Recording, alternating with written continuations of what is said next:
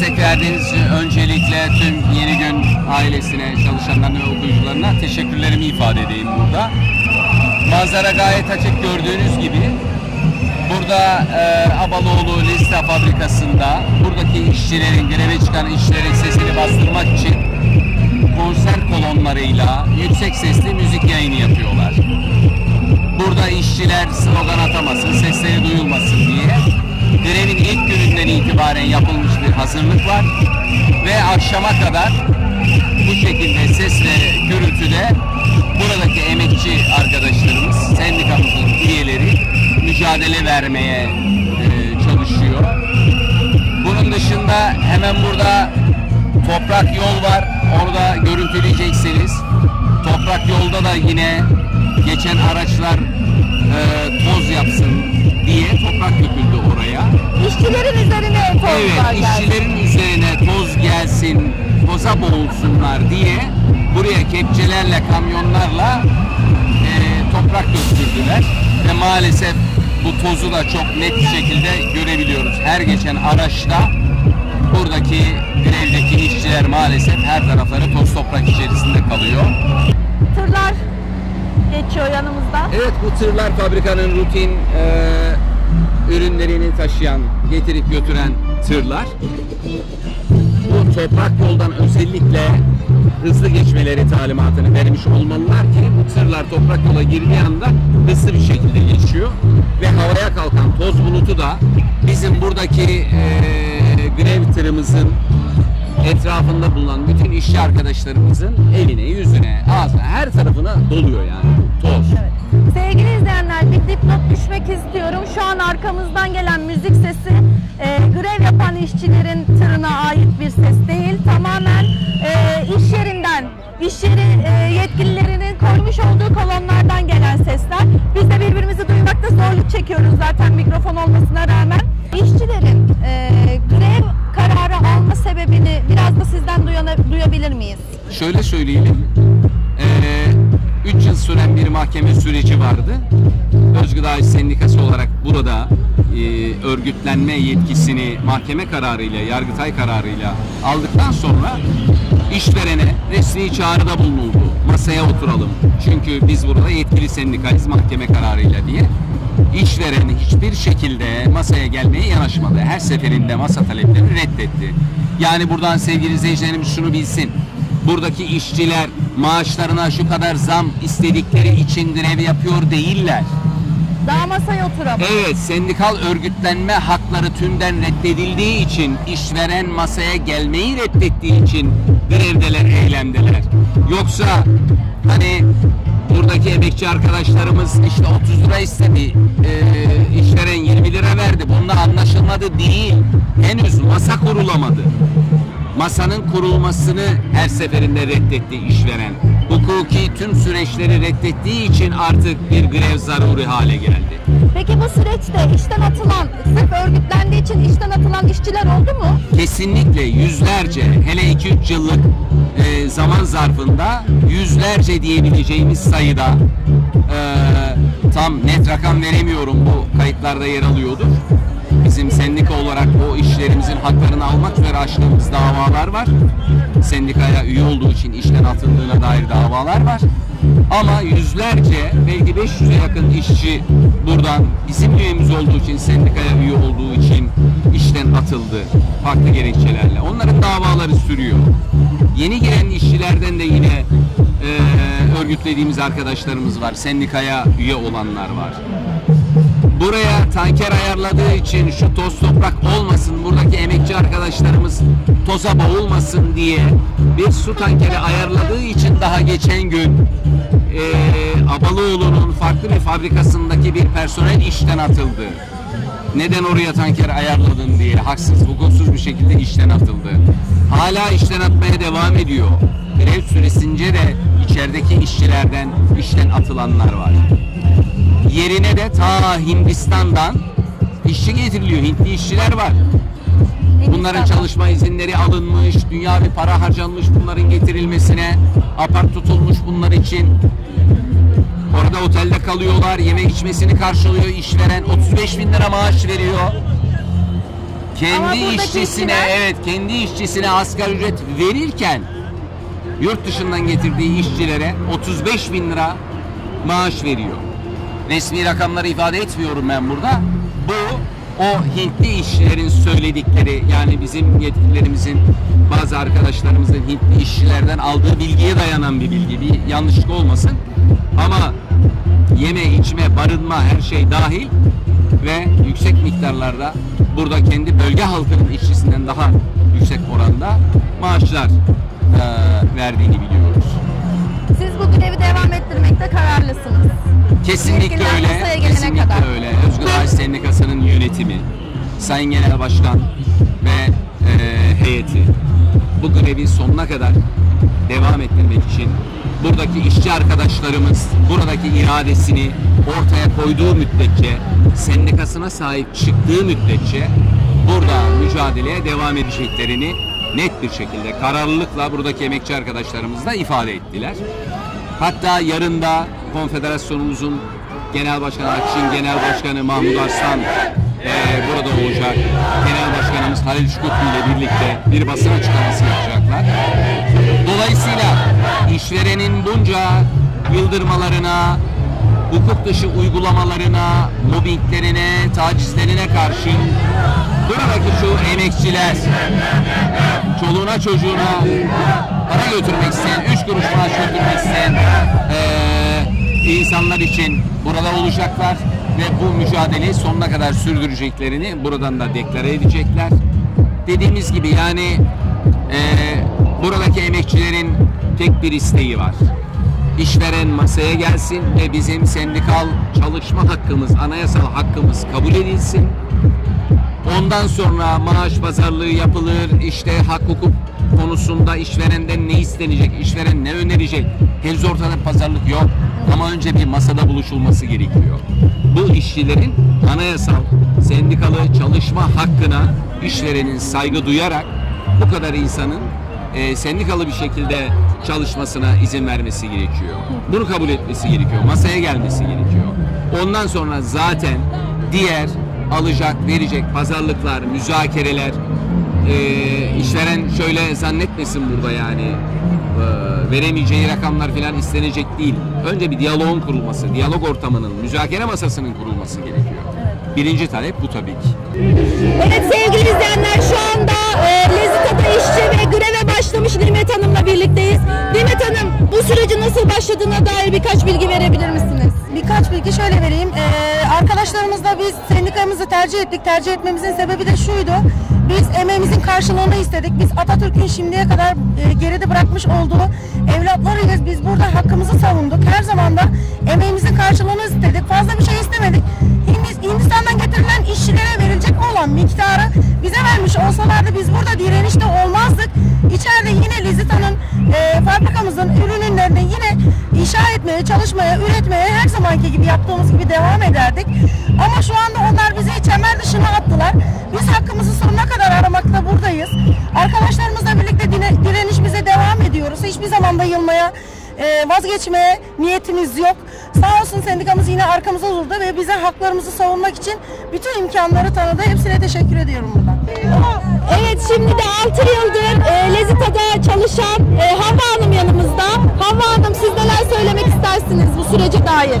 Ben öncelikle 6 yıldır burada çalışıyorum. Çok da emek verdik. Hepimiz, bütün arkadaşlarımız verdi. Hala devam etmeye çalışıyorduk ama buraya şu, sebepten dolayı öncelikle geldim. Ee, sinir sıkışmasından ameliyat olmuştum. Ee, bir de şey rapor falan işte soğukta çalışamaz raporları falan vardı. O sebepten dolayı e, soğuk yerde hala çalıştırılıyordum. Yani sürekli bir baskı, sürekli yani bir zulüm içindeydik resmen.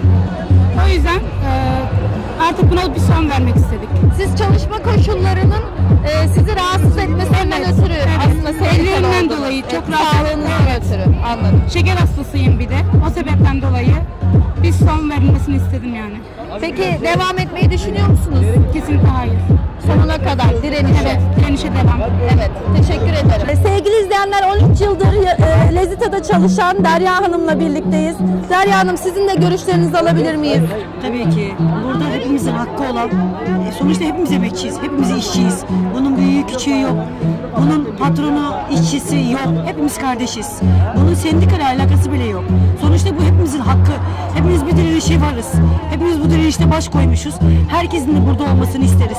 Herkesin hakkını savunmasını isteriz. Yani tüm amaçlarımız, tüm gayretimiz, tüm mücadelemiz bunun için. Yani insanların bu şekilde bizi yarı yolda bırakmalarına çok üzgünüz. Gerçekten herkesin çıkmasını, herkesin hakkını savunmasını isteriz. Sevgili izleyenler 12 yıldır e, arkamızda gördüğünüz Lezita'nın fabrikasında çalışan Gökhan Bey ile birlikteyiz şimdi. E, Gökhan Bey sizden de bir durum değerlendirmesi almak istiyorum. Ee, ya şöyle söyleyeyim, 12 yıldır ben burada usta başıydım. Döner, e, döner sarım ustasıydım. Çok eleman yetiştirdim, işçi yetiştirdim. Ee, ama bunun karşılığı ne oldu? Biraz daha şartlarımızı iyileştirmesini istedik. En sonunda bizi kapıya koydular. İçeride çok büyük tehditler var. İşte greve çıkacaksınız mı, çıkmayacaksınız mı? Ee, eylem yapacaksınız mı, yapmayacağız mı? Biz diyoruz ki, biz sizin şartlarınızdan memnun değiliz. Biz artık yeni bir düzene geçmek istiyoruz. Sendikal bir düzene geçmek istiyoruz. Ha böyle istediğimiz zaman ne oldu? Bizim 12 yılımızı harcadılar, dışarıya attılar bizi. Ve biz de arkadaşlarla birlendik, birlik olmaya karar verdik. Grev hakkımızı kullanmak istedik.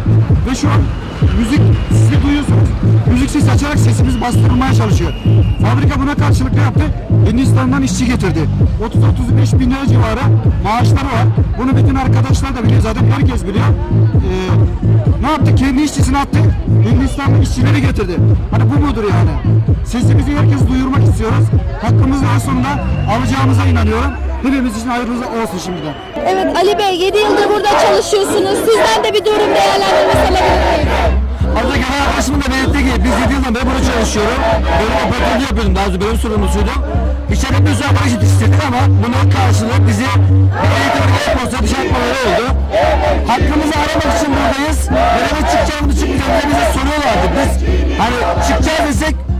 Bir gün sonra falan işe atıyorlardı. Çıkmayacağız desek yine o şekilde işe atıyorduk. İçeride bir sürü baskı var, mimik var. Hani eleman eksikliği, yetersizliği, hani hat safhada. 12-13 kişi yaptığı işi 8 kişi yaptırıyorlar. Yani bize aşağıya bir bayağı bir baskı altındayız. Aşağıda arkadaşlarımız var, çıkmak isteyen arkadaşlarımız var ama şu anda müdürün şeyden baskısına çıkamıyorlar. Onlar çıkıyor, bize yazıyorlar, çıkmak istiyoruz ama yapamıyoruz diyorlar. Biz de onlar için buradayız. İçeride arkadaşlarımız için de buradayız. Sonuna kadar grevimizin arkasında arkadaşlarımızla beraber burada bekleyeceğiz sonuna kadar. Evet Kasım Bey 5,5 yıldır burada çalışıyorsunuz. Bir de sizden bir görüş alalım. Şöyle söyleyeyim, biz 5,5 yıldır burada ben hala aktif olarak çalışıyorum. Bu noktaya bu insanları Türk işçiler getirdi. Bu nezik adını bu kadar büyüttüler. Emeklerini verdiler. Eşler olsun, bayanlar olsun full çalıştı. Sendikadan hakkımızı istediğimiz için içeride mobbing uyguluyorlar.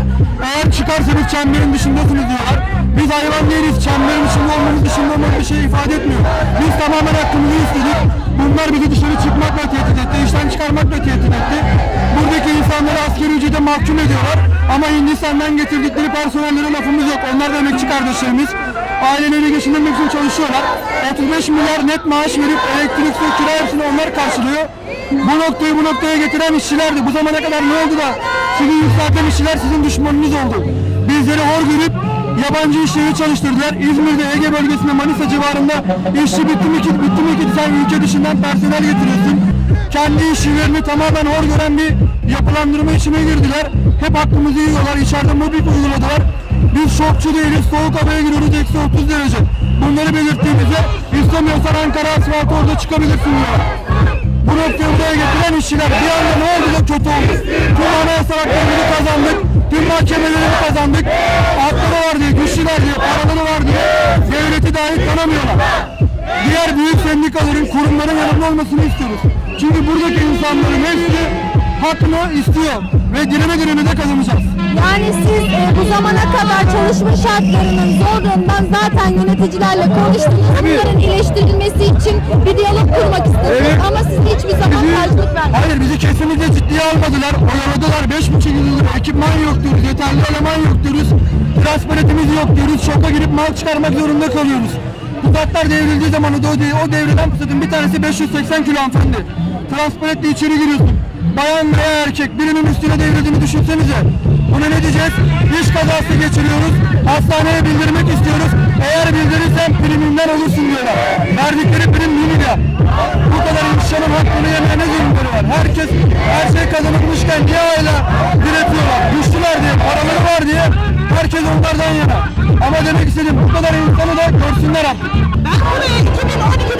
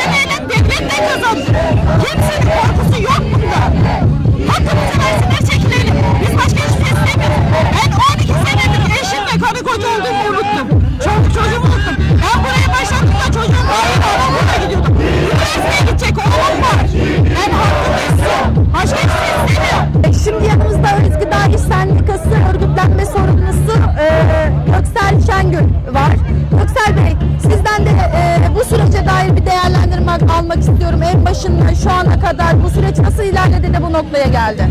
Şimdi biz Havaloğlu'nda örgütlenmeye 2021 yılında başladık. 2021 yılında çok kısa bir sürede arkadaşlarımızdan gelen talep ve istek üzerine yeterli sayıyı tamamladık. Bakanlığa müracaatta bulunduk. Bakanlıktan tespit çıktı.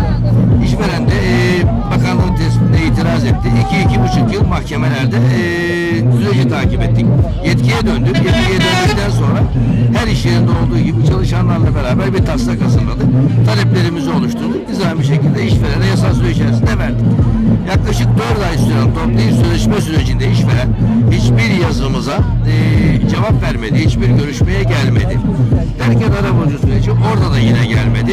E, sürecin sonunda da doğal olarak grev kararı aldık. Grev kararı aldık. 7 Mart'ta da grevi uygulama kararı aldık. 7 Mart'ta e, 7 Mart'ta da greve çıktık. Tabii biliyorsunuz e, e, yani greve çıkıldı diye süreç sonlandı değil aksine bu e, yani bu sürecin sonlanması tarafların karşılıklı imza atmasıyla e, mümkün oluyor.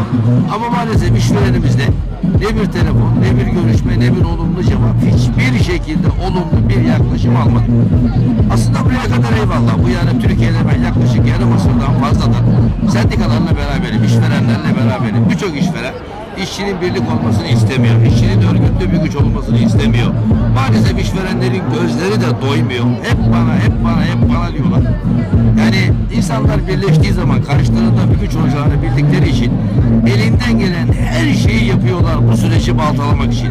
Maalesef Türkiye'de de yasal mevzuat buna korkunç müsait. Yani düşünün. Çalışma Bakanlığı ya bütün veriler ellerinde. Çalışan insan sayısı ellerinde. O fabrikada kaç kişi çalışıyor ellerinde. O fabrikanın kaçı sendikalı olmuş. Bunu görebilen bir tek bakanlığın kendisi tüm bu verilerle yani yani çalışmayı yapan sendikaya yani çoğunluğu veriyor. Bakanlığın verdiği çoğunluğa işveren itiraz ediyor. Mahkemeye gidiyor.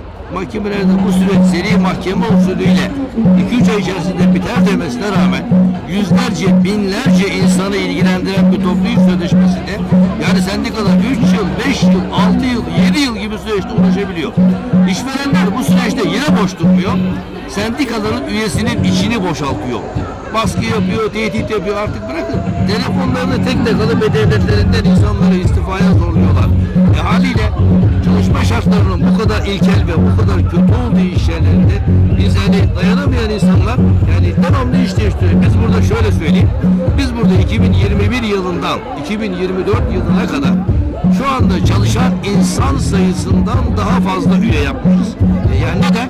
İnsanlar çıkıyor. E yani, yani çok korkunç felaket bir insan sirkülasyonu var. Buraya kadar eyvallah. Yani hadi bunlara da eyvallah. Fakat burada anlayamadığımız bazı noktalar var. Şimdiye kadar yani hiç görmediğimiz tablolara burada görüyorum. İster istemez insanları yani en azından benim aklıma geliyor. Değişik düşünceler geliyor. Mesela tamam hadi işveren bakanlığın verdiği tespite itiraz etti. mahkemenin verdiği kararın hiçbir hukuku tanımadı. Anayasayı tanımadı, kanunu tanımadı, işçinin hakkını tanımadı. Yani tanımadı da tanımadı. Kuldan da utanmadı, Allah'tan da korkmadı. Hadi bunlara diyelim bir yere kadar eyvallah. Ya şu bana ilginç geliyor. Geldiğimiz günden beri hiç bakın Türkiye'nin hiçbir yerinde, hiçbir eylemde, hiçbir grevde yani şurada kolluk kuvvetinin aldığı, yapmaya çalıştığını göremezsiniz. Geldiğimizden beri 50 tane ne Kemalpaşa'da ne Bağyurt'ta yani hiçbir yerde jandarma kalmadı. Hepsi burada. Ya bu çocuklara üzülüyorum. Betonun üzerinde yatıyorlar. Bu çocuklar betonun üstü 7 gündür burada bizlerle beraber neymiş? Yani yani buraya bir zarar vermiyor. Ya işçi çalıştığı yere zarar verir mi? İşçi buraları seviyor. Abonoğlu açıldığında küçücük bir kümesti. Abonoğlu'nu bu hale getiren buradaki kardeşlerim devasa yapan bugün 30 tane 40 tane Abonoğlu'ndan bahsediliyorsa Abonoğlu'nu bu hale getiren bu çocuklar hastasını yatağında bıraktı. Annesinin babasının cenazesine gidemedi. O çocukların bu işlerine zarar verme ihtimali var mı? Hiç yok. Ama neden korkuyorlar? Neden çekiliyorlar? Veya hangi güç yani buraya bu kadar e, yani civardana kadar kolluk kuvveti var. Çocuklar sabaha kadar betonda yatıyorlar. Yerde yatıyor jandarma. Bunlara üzülüyorum. Neyi koruyorsun kardeşim? Kimi koruyorsun? Tavuk değil mi? Yani burada başka bir şey mi yapılıyor? Tavuktan başka bir üretim mi var? Da biz bunu bilmiyoruz. Eğer bu tavuksa bu kadar yetişen mümkün değil olmaz. Ve burada başka şeyler dönüyor. Yani kimdir? Buranın arkasında kim var? Neyin peşindeler? Ne yapmak istiyorlar? Yani karşılarında garip vatandaş var. Onun karşısında sen kardeşim 500 tane jandarmayı dikeceksin. Doğru şeyler değil bunlar. Ayıptır. Vatandaşın da bu askerlere yani bakış şeklini değiştiriyorsun, güvenini bozuyorsun. Yapmayın bunları. Yani bunlar doğru şeyler değil. Yasa ne diyorsa, anayasa ne diyorsa, yani bizler nasıl bunlara saygılıysak, vatandaşlar nasıl bunlara saygılıysa bizim kimseye hak etmediğimiz bir talebimiz olmaz. Hak etmediğimiz yasal hakkımızdan bir şey istemiyoruz. Ne diyorum kardeşim yasaya anayasaya saygılı ol. İnsanların hukukuna saygılı ol.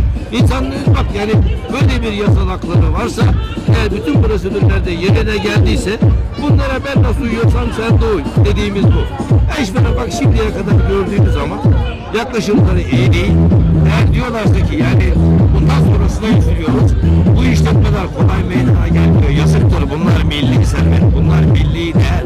Yani 50 yıl yapıyorsun kardeşim, 50 yılda bir yere getiriyorsun. 50 yıl sonra bir tanesi el alttan bir tuğla çekiyor, burayı kafana geçiriyor. Yapma. Yani marka yani böyle markalara zarar vermemek lazım ama insanlar ister istemez haliyle yani bazı doğal tepkiler gelişiyor. Yani bu markaların zarar görme ihtimali var. Yani insanların zorla istemediği şeylere yönlendirmesinler. Ne istiyoruz? Çalışalım, üretelim, daha fazla kazanalım, daha fazla üretelim ama hakkımız olanı alalım. Hep bana, hep bana, hep bana dersen öyle bir şey olur mu? Olmaz. Hakkımızı ver kardeşim, bize mal bağışlama. Hakkımızı ver. Yani bu mücadelede çalışan kardeşlerim yerden göğe kadar haklı. Yasal ve anayasal haklarını kullanıyorlar. Genel başkanımızın geçen e, birkaç kere evvel buradaydı. Bu arkadaşlara verdiği bir söz var. E, sizler bizi bırakmadığınız müddetçe bizler sizi bırakmayacağız. Mal olursa olsun, bu neye patlarsa patlasın, abone doğum iş yerinde toplu iyi sözleşmeyi imzalayacağız. Sendik olarak, konfederasyon olarak bizim de yani, yani bu işte bu, kadar kararlıyız. Yarın da Akış Başkanımız Mahmut Aslan Bey geliyor. Orada basın açıklaması var. Dediğimiz gibi kesinlikle bu arkadaşlarımızın talep ve istekleri doğrultusunda bu süreci olumlu şekilde sonlandırana kadar neye patlarsa patlasın bu mücadeleye devam edeceğiz.